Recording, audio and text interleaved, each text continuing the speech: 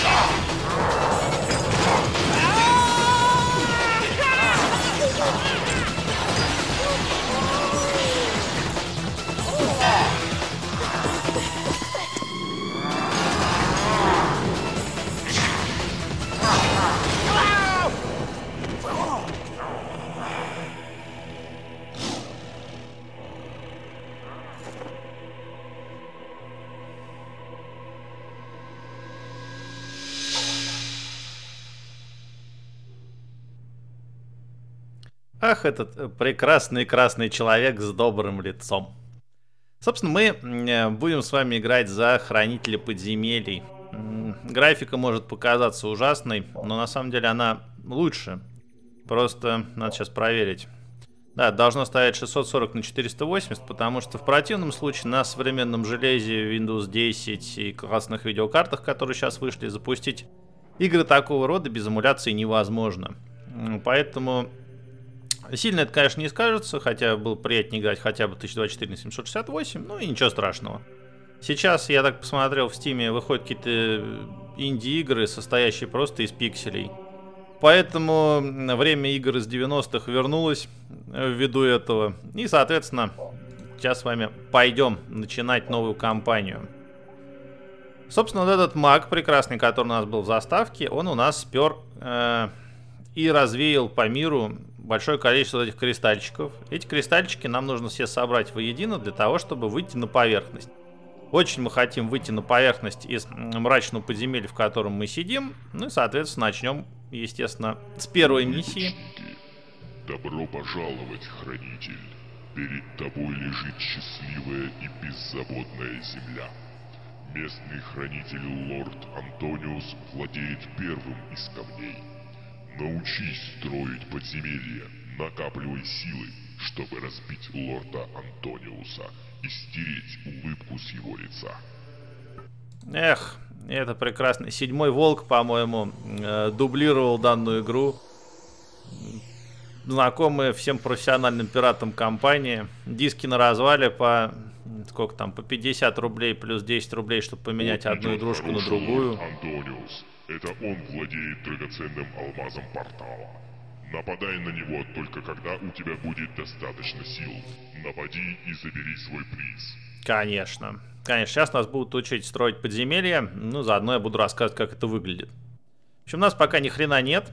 Э, у нас есть импы. Это такие маленькие чертики. Его можно взять в ручку и высыпать, где нам нужно. Сейчас нам расскажут, что надо копать золото. Ну, пойдемте покопаем. Для начала будем идти по туториалу, а то я боюсь, если я буду идти не по туториалу, то я в какой-то момент где-нибудь заглючит. Они копают, короче говоря, тут э, можно строить комнаты, их огораживать. У комнат есть стены, если стена достаточно большая, на ней там тоже кое-что будет образовываться, но об этом мы поговорим чуть позже, пока как бы не будем об этом разговаривать. Соответственно, что там у нас дальше-то? Нас будут идти? По истории как-то нет? Не будут? Э, не буду. Да, ладно, пойдем тогда копать дальше золото.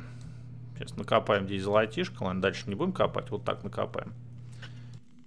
Так, идите, мои верные импы, копать золотишко. Вот на золотишко. Золотишко, кстати, тоже можно взять в руку и пересыпать. В руку здесь можно взять практически все, что угодно. А еще, по меркам тех лет, тут была великолепнейшая фишка. Тут будут потом заклинания, и с помощью заклинаний можно было вселиться в одного из э, своих юнитов, вообще любого абсолютно, получить все его навыки, пойти им воевать от первого лица, несмотря на то, что это вот такая вот игра как бы изометрическая. В общем, безумно крутая вещь. Ничего круче Dungeon Keeper, на мой взгляд, э, не было придумано вот именно в таком жанре. Выходил какие-то э, оверлорды, игра, которая на Кикстартере там делал с какими-то энтузиастами. Я туда, по-моему, даже денег задонатил, но что-то я не припомню, чем дальше дело закончилось. Надо будет ее э, отковырять, тоже поиграть, может быть, не знаю. Ну, по-моему, там получилось какое-то говно по сравнению с оригинальным Bullfrog, соответственно, с авторами. Все это муть какая-то. Там есть портал, я не знаю, можем мы пока ковырять или не можем, потому что здесь какой-то туториал в конце концов есть. Не знаю. Посмотрим, что тут у нас. Э, так, отражают простые мысли, которые они там ходят. Ну да, над ними еще появляются такие квадратики. Это типа, что они хотят. Те существа, они наши непонятные, которые у нас живут. Ну, нет, пойдемте сюда проковыряемся. Я просто точно знаю, что там портал. В игру я это последний раз играл лет 7 назад. Вот сейчас запустил ее первый раз. Но руки-то помнит, как говорится.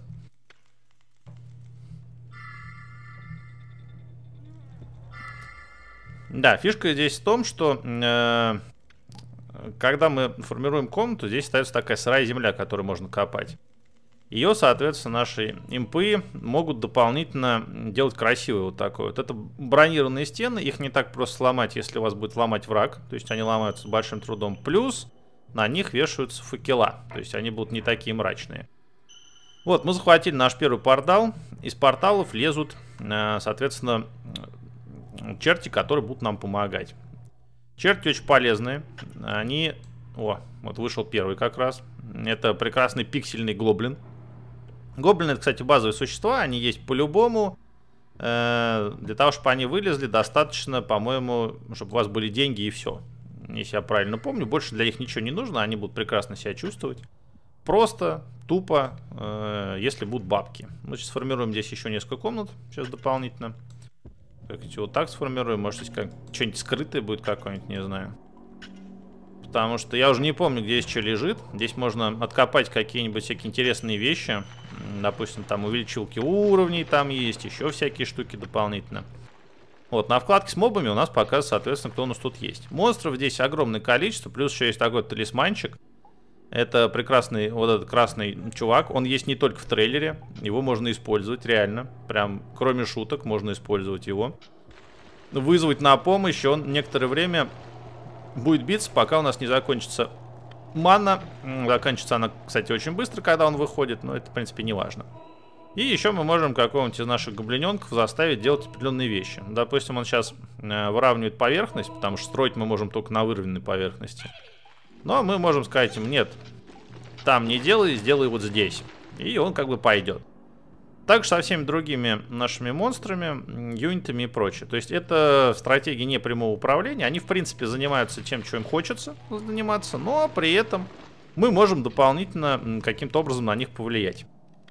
Первый миссии, конечно, все будет немножечко долговато, по той простой причине, что у нас все 4 импа, и мы не можем делать их больше потому что у нас пока не за счет чего. Но скоро будет, буквально там второй, в третьей миссии, наверное, даже уже за второй, у нас появится возможность еще дополнительно колдовать колдовство, и это прикольно.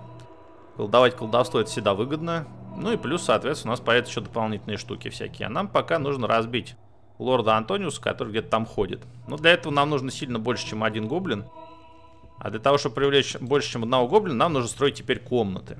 Во-первых, основополагающая комната это логово. Логово это то место, где у нас, соответственно, наши э, прекрасные юниты отдыхают. То есть они должны, то есть первейших потребностей, как у любого гражданина Российской Федерации, это э, чтобы было что есть, это обязательно очень важная хрень, чтобы было что есть, и чтобы было где спать. То есть мы строим спальный район Москвы. Это первое, что надо построить. И, соответственно, второе, что надо построить. Это курятничек. Курятничек, который э, будет проецировать, соответственно... Э, да, настолько денег не хватает. Будет проецировать кур. Построим пока он такой несчастный курятник. Я не знаю, зачем построил такое логово на одного человека. То есть мест у нас там сколько? 26 мест здесь может поместиться спальных, одно занято. Ну, в общем, Царские палаты я им тут сделал, непонятно за каким хреном. Ну да ладно. Сейчас мне ребята еще накопают золото, я сейчас еще расширю курятничек. О, расширим курятничек. Когда помещение достигает определенного размера в длину и ширину, здесь появляются еще дополнительные надстройки. То есть это вещи, которые проецируют больше. То есть нельзя, допустим, сделать некоторые комнаты меньше определенного количества, иначе они будут очень хреново выглядеть и не справляться своей функцией. О, на нас напали. А у нас уже 4 гоблина. Так, так здесь выглядит война. Врезали ребята. Вот эти квадратики, вы какие квадратики, господи, эти кружочки над головами, это, соответственно, количество жизней. В общем, вот они лупятся. Когда их останется мало, а вернее один, то существо падает в бессознательность. Сейчас это нам никак не поможет, потому что у нас нет ни одного здания. Но если бы у нас были прекрасные здания, такие как кладбище, или такие как тюрьмы, пыточные и прочие, которые неизбежно появятся здесь после, то, соответственно, их бы можно было туда утащить с помощью наших импов, и там дальше по своему усмотрению. Можно было их загнобить, превратить в скелетов, их можно пытать и попробовать перевести на свою сторону, это тоже иногда получается сделать. Ну, соответственно, вот такие, такие вещи можем манипулировать с нашими ребятами. К нам пришел уже, кстати, пятый гоблиненок. Соответственно, вот я говорю, то есть типичный гражданин. У нас есть спальный район Москвы, у нас есть куры. Куру, кстати, тоже можно достать и отправить куда-нибудь. В общем, все что угодно можно зацепить, абсолютно. Соответственно, если наши юниты на нашей земле э, пиздюля, э, простите, получают очень много урона, то есть у них тоже остается вот так же один квадратик, пока они не сгнили до конца, то есть этот жизнь не закончились, их можно спасти. То есть наш имп может утащить такого нашего больного героя к себе в логово, соответственно, найти его кроватку. Тут кроватки, кстати, именные все. И вот в эту кроватку и утащить, и он там, соответственно, у нас восстанет, восстановится через какое-то время. Это очень важная вещь, потому что благодаря ей можно как раз спасать своих ребят. А это, ребят, очень ценный ресурс, потому что у них еще есть уровни. Сейчас они у нас все единички. Ну, допустим, максимальный уровень здесь 10, и на 10 уровне каждое существо может делать сильно больше, чем обычно. Поэтому, соответственно, это очень-очень важная штука. Так, у нас здесь есть место еще под одну комнату. Так, еще место под одну комнату. Сейчас тут проковыряем кое-чего. О, мы нашли что-то. Не, пока, не, пока не могу посмотреть, да, что это? А, увеличение уровня, вот, отлично. Сейчас мы наших всех ребят сделаем... Нет, мы, наверное, подождем, а потом сделаем увеличение Твои уровня. нашли заклинание. Ну вот, мы создание нашли заклинание. Отлично, магический символ. Так, вот эту штуку нам, говорят, надо прокопать. Давайте прокопаем штуку. Э -э а, это плохо, что я об этом не подумал. Так, тогда мы используем штуку. И бросаем бой всех наших ребят. Чтобы он не убежал, мы его сейчас отрежем. Сейчас он пройдет. Нашим войскам есть только путь назад.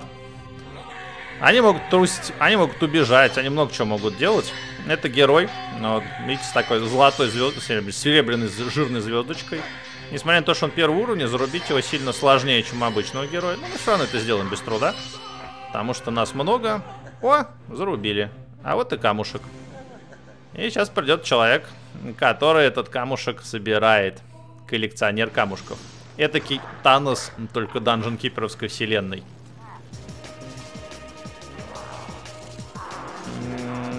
Да. Не всегда камера отрабатывает хорошо. Давай, топ-топ. Копытцами топ, топ, топ, топ. Как говорит моя маленькая дочь, на всех копытных. Так, пепел там летает прекрасный. О, гоблин пошел. Как будто он осознал, что он живет в России только что. Лицо было примерно такое же. Все, мы нашли. Нашли камушек. Красота вообще. Неописуемая красота. Эм, так, что дальше-то будет? Кинематографический трейлер закончился.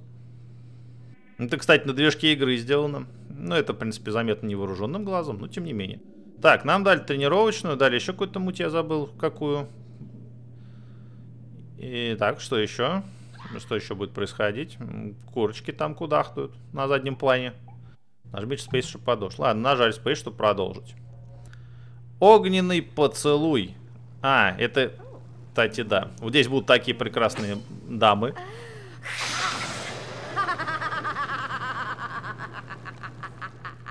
Великолепно. Они, кстати, пытают людей в камерах пыток. Неплохо да. сработано, хранитель. Ох, неплохо. покончил с лордом Антониусом и завладел первым камнем. Очень многообещающее начало. Ясен хрен, это ж я. Э, это что такое? Алекс Питерс, лучшие хранители. Я могу еще отпечатать, нет? А, я вообще никак не называюсь. Ну да и хрен с ним. Так, дальше у нас есть путь только сюда. Где-то у нас тут еще путь будет ветвиться, но я уже не помню. Ну да и не важно. На этом все, ребят. Спасибо за внимание. Благаю, получилась игруха. Если интересно дальше смотреть, ставьте, соответственно, пальчики вверх.